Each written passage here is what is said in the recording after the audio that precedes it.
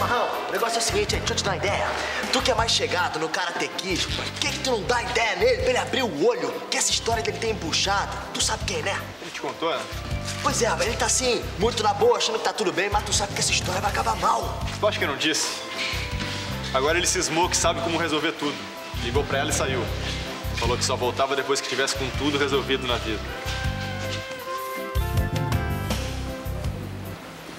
Tu demorou. Você não é toda a minha vida. Decepcionado demais em saber disso?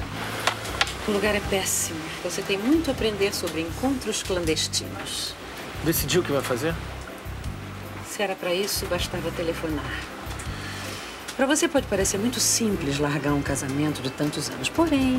Não dá mais para você ficar com ele, Bárbara. O Orestes fez uma vasectomia. Vai fazer graça pra cima da sua vovozinha torta, tá bem? É sério. O filho é meu, não tem como enganar. É meu. Só tem um jeito agora. Deixa o Orestes e fica comigo. Essa história de vasectomia tá mal contada. De onde é que você tirou isso? Ele mesmo me disse ontem à noite. Também preferi que fosse mentira. Orestes teria me contado, eu sou mulher dele, eu ia saber, Tato. Disse que foi uma operação de hérnia, lembra? Estavam em cidades diferentes. Ele fez uma operação aqui no Rio. Disse que não era nada sério, nada grave. Não, não, essas cirurgias às vezes dão alguma coisa errada. A porcentagem é mínima. E sempre num prazo inferior que ele fez. Fiz minha pesquisa. Não tem por onde dizer que a criança é dele. Isso é o fato. A gente tem que pensar daí em diante. Bárbara, desde que você me falou, fiz mil promessas. Todo dia de manhã, quando eu corro. Deus, me tira dessa, só dessa. Quando eu chegar na academia, faz a Bárbara tá lá dizendo que isso foi um alarme falso. Só dessa vez, eu juro que eu nunca mais vacilo. Até banho de camisinha eu tomo. Não rolou. Agora é encarar o real. Largar um casamento de tantos anos. Tu já tinha pedido o divórcio. E se fosse só pra dar um sustinho nele? Hum? Era. Se fosse, deixou de ser. Ou é mais fácil encarar. Olha, meu amor, não fica muito nervoso, mas é que eu tive um casinho com outro homem.